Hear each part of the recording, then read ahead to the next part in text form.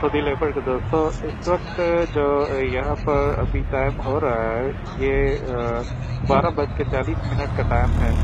और आप देख सकते हैं इस वक्त जद्दा में मैं सफ़र कर रहा हूँ।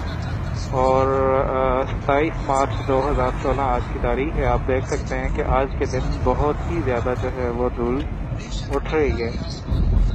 जद्दा शहर ये समुंदर के किनारे पर वाक़ है? आपको थोड़ा सा इसका बताता चलूँ, और यहाँ पर रेगिस्तान है। रेगिस्तान होने की वजह से तेज़ हवाएँ चलती हैं, जिस वजह से धूल बहुत ज़्यादा उड़ती है।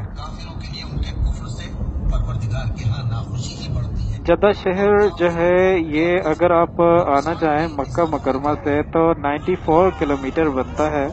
और यहाँ मक्का टू जद्दा यहाँ पे आने पे एक घंटा और पंद्रह मिनट तकरीबन लग जाते हैं। और अगर आप मदीना मनवरा से आना चाहें यहाँ पर तो तकरीबन चार घंटे और बीस मिनट आपको लग जाएँगे और 460 किलोमीटर का सफ़र बनता है ये जद्दा से मदीना की जानब।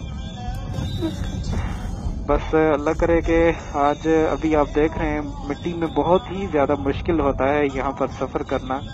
और अगर आप गाड़ी के बाहर अगर आप निकलें तो सर सारा जो है वो मिट्टी और धूल से और चेहरा सारा भर जाता है।